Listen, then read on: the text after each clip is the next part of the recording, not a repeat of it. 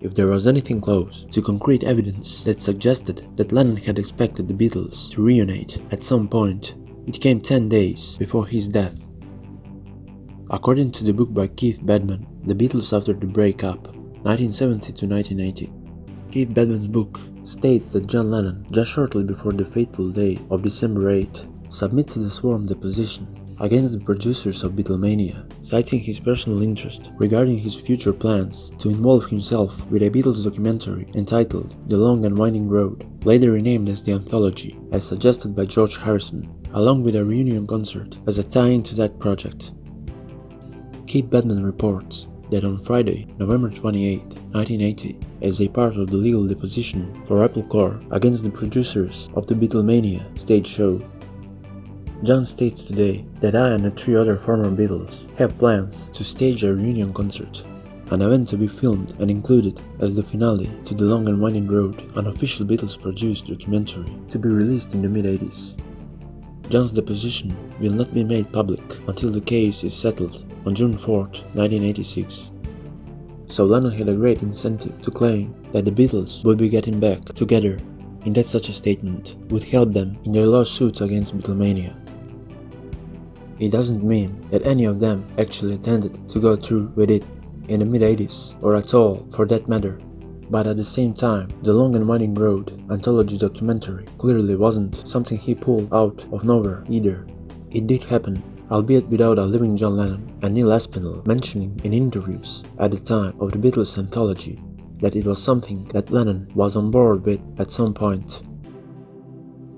John had already decided to go back to England to participate with Paul McCartney in Ringo's next album, Stop and Smell the Roses.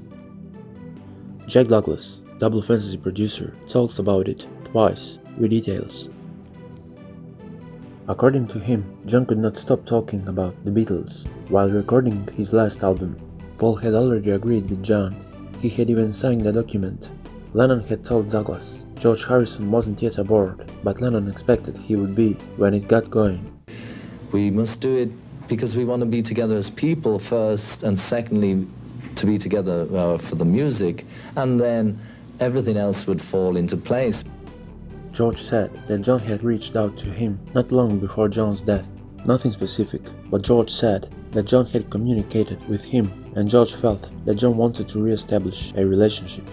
George saw it as a hopeful sign to become friends again. On the 6th of December, John phoned his Aunt Mimi to tell her he was coming home. He would have returned to Britain during 1981 for the first time in 10 years.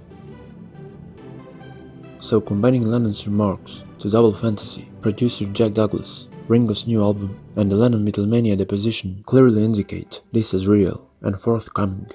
Not to mention Neil Aspinall's documentary project that all four had already agreed to.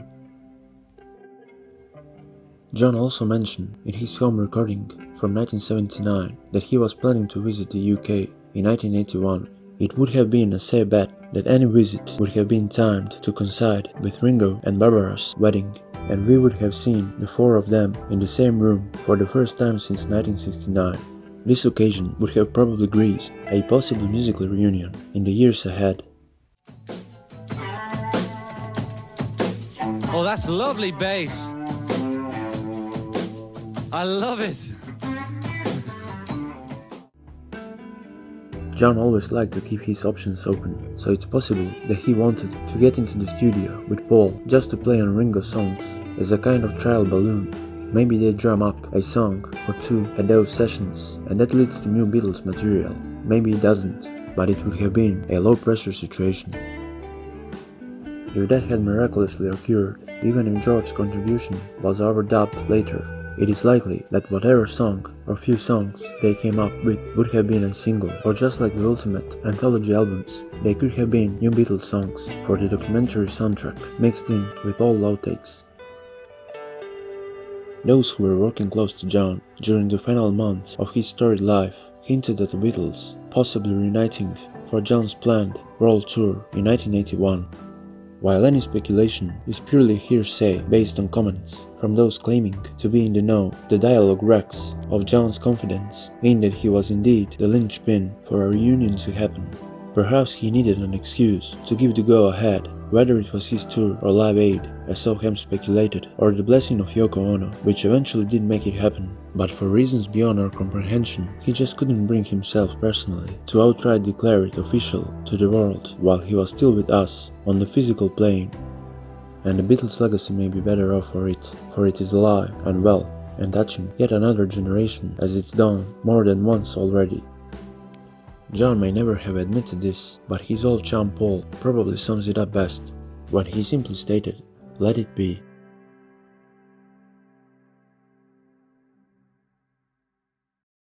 I don't know, Ellie, because you know me. I go on instinct, and if the idea hit me tomorrow, you know, I might call them and say, "Come on, let's do something." And so I couldn't really tell you. If it happens, it'll happen. You know. So it is not something that you would totally rule out as never taking place again. No, no. My memories are now all fond, and the wounds are healed. And if we do it, we do it. If we record, we record. I don't know. It, as long as we make music, you know.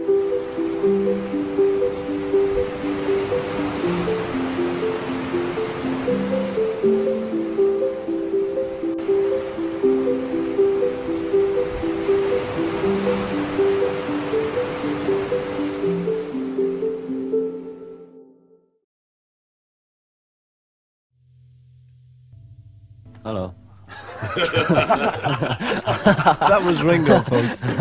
Well, what can I say? And goodbye You all of know. us. Well, this is Ringo. Everyone seems to have said everything here, so I'll just sign off by saying cheerio and best of luck from the Beatles.